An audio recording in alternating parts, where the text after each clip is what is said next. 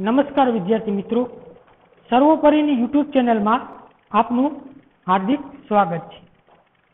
Covid nineteen અંતર્ગત આપ બધા ઘરે જશો અને સુરક્ષિત હશો. તો મિત્રો, સર્વોપરી શૈક્ષણિક સંકુલ સંસ્થા દ્વારા જે ઓનલાઈન ક્લાસીસનું આયોજન કરેલ છે, તો મિત્રો, આપ ઘરે બેસા એનો તમે લાભ લેશો. હવે મિત્રો, ધોરણ છ વિષય વિજ્ઞાન અને એની અંદર ચેપ્ટર નંબર બે, કે જેનું નામ છે આહારના ઘટકો. એના વિશે મિત્રો આપણે ચર્ચા કરીશું. પરંતુ મિત્રો, આપણે ચેપ્ટર નંબર એકની અંદર જોઈ ગયા કે ખોરાક ક્યાંથી મળે છે? તો મિત્રો, આપણે રોજિંદા જીવનની અંદર અલગ અલગ સમયે અલગ અલગ પ્રકારનો ખોરાક ખાતા હોઈએ છીએ. એ ખોરાક કેવા ઘટકોમાંથી બનાવવામાં આવે છે? અથવા તો કઈ સામગ્રીઓ દ્વારા બનાવવામાં આવે છે? વળી પાછા એ ઘટકો કે અથવા કે સામગ્રીઓ કયા સ્ત્રોતમાંથી આપણને પ્રાપ્ત થાય છે? એના વિશે આપણે પ્રથમ ચેપ્ટરની અંદર ચર્ચા કરી ચૂક્યા છીએ. તો હવે મિત્રો, આપણા રોજિંદા જીવનની અંદર ખોરાકનું શું મહત્વ છે એ પણ આપણે એ ચેપ્ટરની અંદર શીખી ગયા છીએ. તો આપણે જે લીધેલો ખોરાક હોય, એની અંદર એવા કેટલાક ઘટકો હોય છે કે જે આપણા શરીરને ખૂબ જ જરૂરી હોય છે. શું હોય છે મિત્રો? ખોરાકની અંદર અમુક એવા ઘટકો આવેલા હોય છે કે જે આપણના શરીરની અંદર ખૂબ જ જરૂરી હોય છે. એના વિશે આપણે આ પ્રકરણ નંબર બે કે આહારના ઘટકો એના અંદર આપણે ચર્ચા કરીશું. તો ચાલો મિત્રો જોઈએ આપણે પ્રકરણ નંબર બે, આહારના ઘટકો. તો પ્રકરણ એકમાં આપણે એવા ખાદ્ય પદાર્થોની યાદી બનાવી હતી કે જેને આપણે ખાઈએ છીએ. મિત્રો, આપણે ચેપ્ટર નંબર એકમાં અમુક ખાદ્ય પદાર્થોની યાદી બનાવી હતી કે જે પદાર્થોનો ઉપયોગ આપણે ખાવા માટે કરતા હોઈએ છીએ. ભારતના વિવિધ ભાગોમાં ખાવામાં આવતા ખાદ્ય પદાર્થો વિશે પણ આપણે ઓળખ મેળવી હતી કે ભારતના અલગ અલગ જે ભાગો આવેલા છે, અલગ અલગ રાજ્યો આવેલા છે, તો દરેક રાજ્યોની અંદર કેવા કેવા પ્રકારનો ખોરાક ખાવામાં આવે છે એના વિશે પણ આપણે પ્રકરણ એકની અંદર ચર્ચા પૂરી કરી ચૂક્યા છીએ. અને તેને આપણે નકશામાં પણ દર્શાવેલ છે.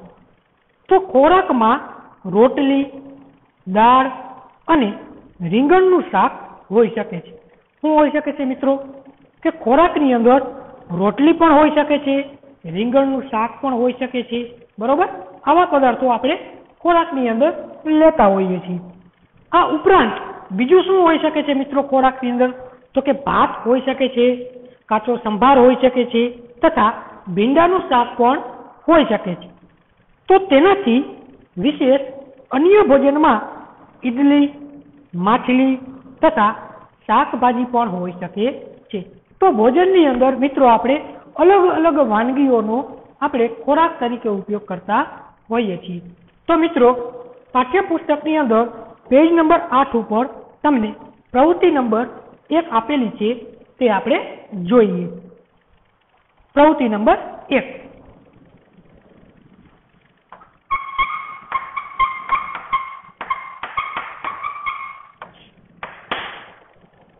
તો ચાલો જોઈએ મિત્રો આપણે પ્રવૃત્તિ નંબર એક.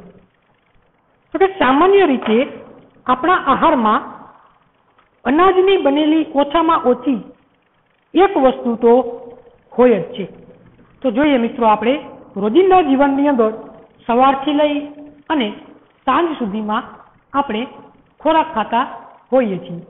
તો એ ખોરાકની અંદર આપણે જોઈએ મિત્રો તો ઓછામાં ઓછી ઘઉંની વાનગી બનેલી, એટલે કે અનાજની વાનગી વાનગી બનેલી હોય તેવી એક તો વસ્તુ અંદર આવેલી જ હોય જ છે. બીજા ખાદ્ય પદાર્થોમાં દાળ અથવા માંસની કોઈ વાનગી તથા શાકભાજી પણ હોઈ શકે છે. અન્ય બીજા ખાદ્ય પદાર્થો હોય મિત્રો, તો એની અંદર દાળ છે અથવા માંસની કોઈ પણ વાનગી બનેલી હોય તથા શાકભાજી પણ હોઈ શકે છે. તેમાં દહીં, છાશ તથા અથાણું પણ સામેલ થઈ શકે છે. તો અન્ય ખાદ્ય પદાર્થો જોયા મિત્રો, તો એની અંદર ભોજનની અંદર આપણે છાશ હોઈ શકે છે, દહીં હોઈ શકે છે કે કોઈ અન્ય પ્રકારના અથાણા પણ આવેલા હોય છે.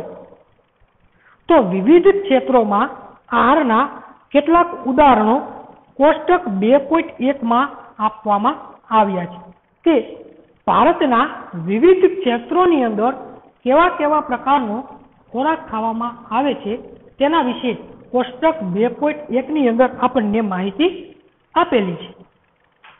પ્રકરણ એકમાં દર્શાવેલ પ્રવૃત્તિ બેમાં તમે દર્શાવેલું છે કે ખોરાકને પસંદ કરી આ યાદીમાં કેટલાક અન્ય ખોરાકને ઉમેરો તથા તેની કોષ્ટક બે પોઈન્ટ એકમાં યાદી બનાવો. આપણે મિત્રો પ્રકરણ એકની અંદર જે પ્રવૃત્તિ નંબર બે કરી ચૂક્યા છીએ, તો એમાંથી કેટલાક ખોરાકની પસંદગી કરો અને એ યાદી છે એ આ કોષ્ટક બે પોઈન્ટ એકની અંદર તમે ઉમેરો. તો ક્યારેક આપણે આપણા ભોજનમાં વિવિધ પ્રકારનો ખોરાક લઈ શકતા નથી. આપણે કોઈ એવી પરિસ્થિતિ પણ થાય કે એ પરિસ્થિતિને અનુસંધાને આપણે વિવિધ પ્રકારનો ખોરાક ન ખાઈ શકીએ. અમુક સંજોગો એવા બની જાય કે એ સંજોગો દરમિયાન આપણે અલગ અલગ પ્રકારનો જે ખોરાક ખાતા હોય તો એ ખોરાક આપણે ખાઈ શકીએ નહીં. આપણે માત્ર એક જ પ્રકારનો ખોરાક ખાવો પડે એવી પરિસ્થિતિ પણ આપણા જીવનની અંદર ઘણી વખત સર્જાતી હોય છે. દાખલા તરીકે તમે પ્રવાસની અંદર ગયા હોય તો એ પ્રવાસ દરમિયાન તમારે જે રસ્તાની અંદર જે તમને ખોરાક મળતો હોય તો તે જ ખોરાક તમારે ફરજિયાત ખાવો પડે છે. તો આવી પરિસ્થિતિ દરમિયાન તમારે જેમને જે મળે છે ખોરાકની અંદર, એ જ તમારે ખાવું પડે છે. અલગ અલગ પ્રકારનો ખોરાક તમને ખાવા મળતો નથી. જ્યારે આપણે પ્રવાસ પર નીકળ્યા હોય, ત્યારે આપણે તે જ ખાઈ લઈએ છીએ કે જે આપણે રસ્તામાં ઉપલબ્ધ હોય છે. એટલે કે રસ્તામાં આપણને જે ખાવાલાયક પદાર્થો મળે છે, એટલે કે ભોજન મળે છે, તે જ આપણે ખાઈએ છીએ. તો આપણામાંથી કેટલાક કેટલાક માટે તે શક્ય પણ હોતું નથી. તે આ બધા ખોરાકની વાનગી પ્રત્યે સમયે ખાઈ શકે છે. કે આ બધા ખોરાકની જે વાનગી છે તે મિત્રો પ્રત્યેક સમયે ખાઈ શકે એ બની શકે છે. તો આહારમાં વિવિધ ખાદ્ય પદાર્થોના આ પ્રકારના વર્ગીકરણનું કોઈક કારણ હોવું જોઈએ. આહારની અંદર આપણને કહેવામાં આવ્યું છે કે અલગ અલગ સમયે અલગ અલગ પ્રકારનો ખોરાક ખાવો જોઈએ. દરેક સમયે એક જ પ્રકારનો ખોરાક ખાવો ન જોઈએ. તો એના પાછળનું પણ એક કારણ હોવું જોઈએ કે શા માટે આપણને એક જ પ્રકારનો ખોરાક ખાવાનું ના પાડે છે? કેમ આપણને અલગ અલગ પ્રકારનો ખોરાક ખાવાનું કહે છે? તો એના પાછળનું પણ એક કારણ હોઈ શકે છે. તો શું તમે માનો છો કે આપણા શરીરને વિશિષ્ટ ઉદ્દેશ માટે વિવિધ પ્રકારના ભોજનની આવશ્યકતા હોય છે. આપણું શરીર છે મિત્રો, એના કોઈ વિશિષ્ટ ઉદ્દેશ્ય માટે વિવિધ પ્રકારના ખોરાકની આવશ્યકતા હોય છે. તો મિત્રો, આપણે કોષ્ટક બે પોઈન્ટ એક જોઈએ કે વિવિધ ક્ષેત્રોમાં અથવા તો રાજ્યોમાં કેટલાક સામાન્ય ભોજન કે અલગ અલગ રાજ્યોની અંદર કેવા પ્રકારનું ભોજન લેવામાં આવે છે તે મિત્રો ચાલો આપણે જોઈએ. તો જુઓ મિત્રો, કોષ્ટક નંબર બે પોઈન્ટ એક. રાજ્યના નામ આપેલા છે, ત્યાર પછી છે અનાજની વસ્તુઓ, ત્યાર પછી દાળ અથવા તો માંસની વસ્તુઓ, ત્યાર પછી શાકભાજી અને ત્યાર પછી કોઈ અન્ય પદાર્થો. તો ચાલો જોઈએ મિત્રો આપણે પહેલું ઉદાહરણ. તો કે રાજ્યનું નામ છે પંજાબ. તો પંજાબની અંદર મિત્રો કઈ અનાજમાંથી વસ્તુ બનાવવામાં આવે છે ખાવા લાયક તો એની ચર્ચા કરીએ. તો પંજાબની અંદર મકાઈનો રોટલો અનાજમાંથી બનાવેલી વસ્તુનો ખાવામાંથી માટે ઉપયોગ કરે છે. ત્યાર પછી માંસની વસ્તુઓ, તો કે રાજમા અને વાલના બીજ જે દાળમાંથી બનાવવામાં આવે છે. ત્યાર પછી શાકભાજી, તો કે સરસવનું શાક અથવા તો સરસવની ભાજીનું શાક. અને ત્યાર પછી કોઈ અન્ય પદાર્થ હોય, તો એ છે દહીં અથવા તો ઘી. હવે તેવી જ રીતે મિત્રો આંધ્રપ્રદેશની અંદર, તો આંધ્રપ્રદેશની અંદર કેવા પ્રકારનો ખોરાક લેવામાં આવે છે? તો ચાલો જોઈએ મિત્રો. તો કે આંધ્રપ્રદેશની અંદર અનાજમાંથી વસ્તુ બનાવેલી હોય, તો કે ભાત છે કે જે અનાજમાંથી તૈયાર થાય છે, ત્યાર પછી તુવેર દાળ અને રસમ ચા કે જે દાળમાંથી બનાવવામાં આવે છે, ત્યાર પછી શાકભાજી તરીકે કંદૂર અથવા તો ટીંડોળા અને અન્ય માવ છે, છાશ, ઘી અને અથાણું. તો હવે મિત્રો ગુજરાતનું ઉદાહરણ આવે છે. ગુજરાતની અંદર કેવા પ્રકારનો ખોરાક ખાવામાં આવે છે, કઈ વસ્તુ અનાજમાંથી બનાવવામાં આવે છે દાળમાંથી શું બનાવવામાં આવે છે? શાકભાજી તરીકે શેનો ઉપયોગ કરવામાં આવે છે? અને અન્ય વસ્તુ, ખાદ્ય પદાર્થ તરીકે તમે કઈ વાપરો છો? એના વિશે તમારે આ કોષ્ટક બે પોઈન્ટ એકની અંદર તમારે લખવાનું રહેશે. જે તમારું હોમવર્ક રહેશે.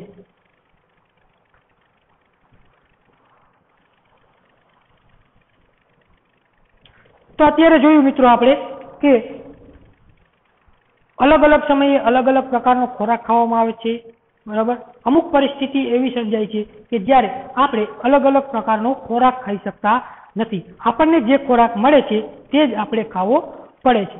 ત્યાર પછી જોયું મિત્રો આપણે કોષ્ટક બે પોઈન્ટ એક કે ભારત દેશના કેટલાક વિસ્તારોમાં એટલે કે કેટલાક ક્ષેત્રોની અંદર, અલગ અલગ રાજ્યોની અંદર કેવા પ્રકારનો ખોરાક ખાવામાં આવે છે તેના વિશે આપણે ચર્ચા કરી.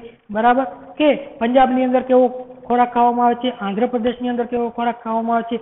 હવે, એના આધારે તમારે ગુજરાતની અંદર કેવો ખોરાક ખાવામાં આવે છે, તે તમારે હોમવર્કની અંદર લખવાનું રહેશે. જે આપણે ભાગ એકની અંદર જોયું. હવે, આગળનો ટોપિક આવે છે મિત્રો, કે વિભિન્ન પ્રકારના ખાદ્ય પદાર્થોમાં શું હોય છે? એટલે કે અલગ અલગ પ્રકારના જે ખાદ્ય પદાર્થો છે, એ ખાદ્ય પદાર્થોની અંદર શું આવેલું હોય છે, તેના વિશે ચર્ચા આપણે ભાગ બેની અંદર કરીશું. નમસ્કાર.